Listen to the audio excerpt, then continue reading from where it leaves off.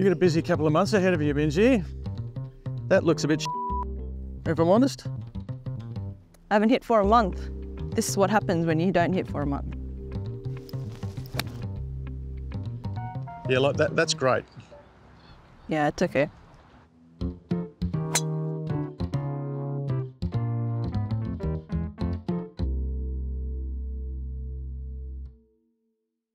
The best traveller? Uh, I think I am better than you at the moment. Aw. At the moment.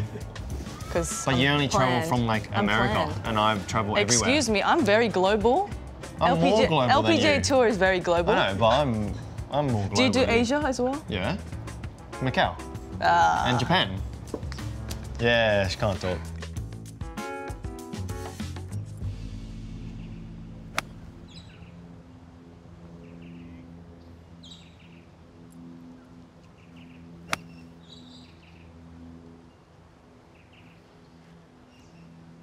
Just watch the way that that leg is just collapsing just slightly. The left knee goes a little bit too much. You Oh, need yeah. to pressure the ground more through the inside of your left foot. Yeah.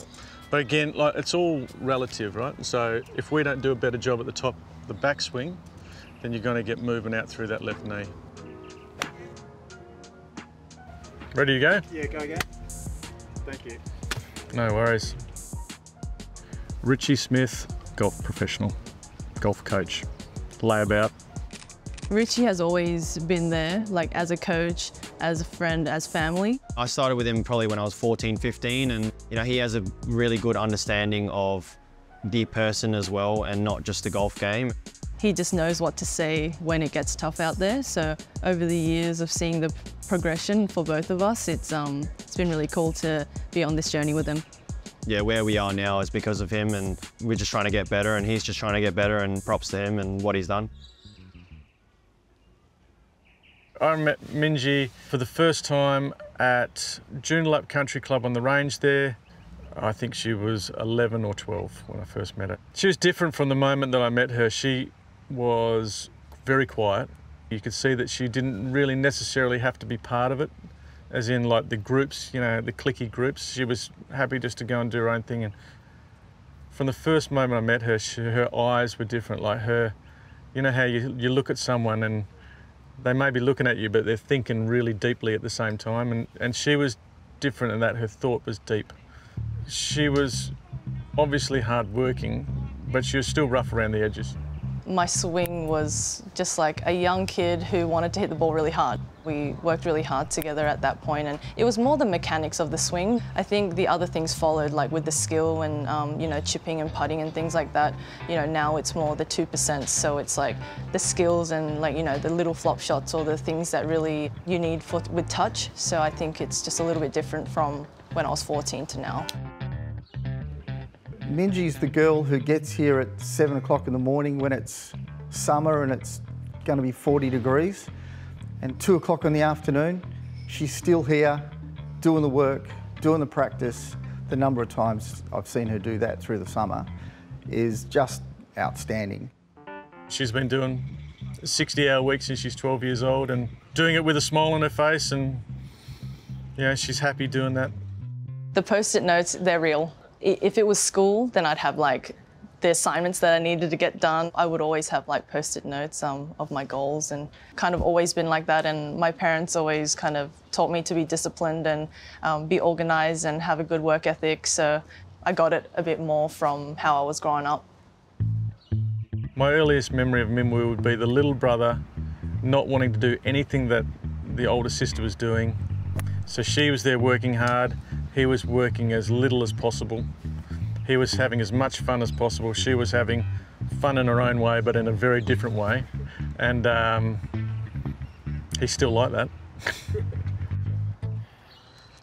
what club have you got there? Eight. Eight. So if we're working on two and a half uh, mile an hour increments, we should be at 92 and a half with your eight iron.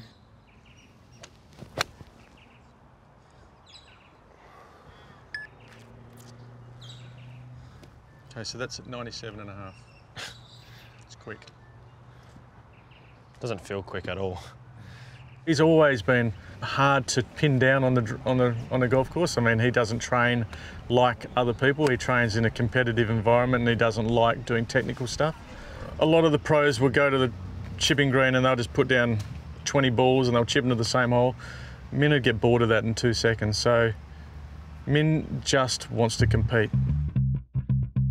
I met Min Woo first um, when I was, I'd have to say 11 or 12. Got paired with him in a junior tournament down in Bunbury uh, at the time. I think I was 12. My putter head came off with nine holes to play and I was playing with Min and we've always laughed and looked back at that since. We, we lift each other's game up. We're, we're both super competitive and we both don't like to lose, but he's a really good player and it's just good to have someone like, like himself to, to practice with and grow both our games.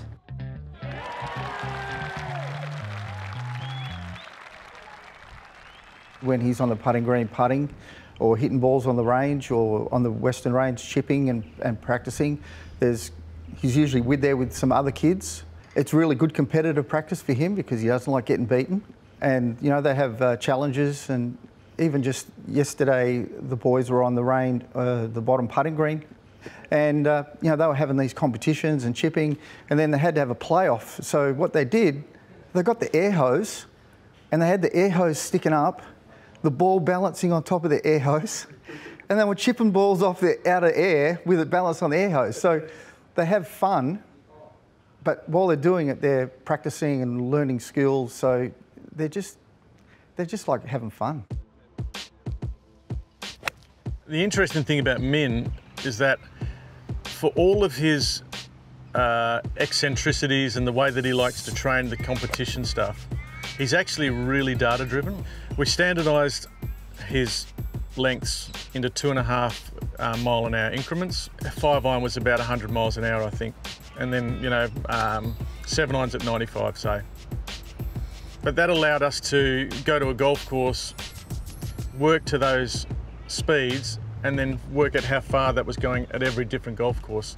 I'm a long hitter, so let's say there's a drivable par four and my wedge game is not as good as, you know, the top pro. So if I hit it into that spot, you know, I'm probably not gaining as much as strokes gain, as they call it on the golf course, in that wedge area. So with my driving though, I'm, I'm positive, you know, most of the time because I hit it so long and hit it somewhat straight. So if I hit it near the green and my chipping is so good that I'm probably going to make more birdies from there than from when someone lays up for 50 yards or 50 metres. So it, it's definitely the one percenters. That stuff is the difference between good and great.